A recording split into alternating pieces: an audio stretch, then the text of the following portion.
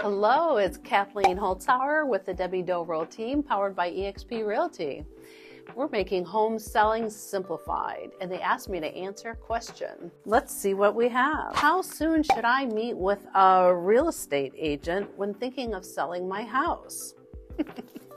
excellent question. Excellent question. Real estate agents have become trusted members of their clients, just like your financial advisor would be, or maybe you're a physician.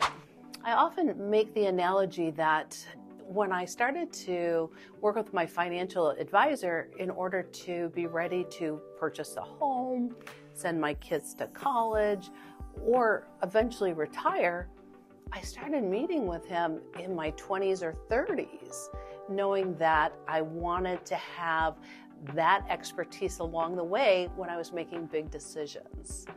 Feel the same way with my doctor.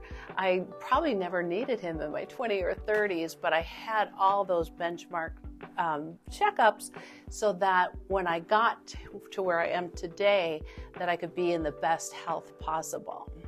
So when you're thinking about when is the right time to call a realtor, you probably should have already called your realtor because it's important that you have a comfortable relationship with them so that they can advise you along the way. Uh, here at our team, we've had the pleasure to helping people move into their first homes, move up to larger homes, and even come back around to downsizing. And that's the kind of relationship that we can be used to our best for you. So don't hesitate. Make that relationship. Come to a seller seminar. Um, get acquainted with us. Make sure that you're comfortable so that when you're making big decisions, you know number one, you have a professional in your corner, and number two, that all of your choices will be outlined so you can make the best choice to meet your goals.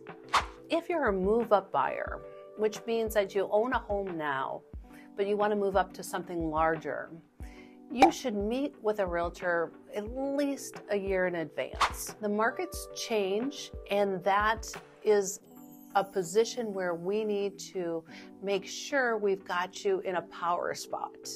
And also that we have time to make sure that you are moving up to something you really want and that it's going to fit your needs for a good amount of time.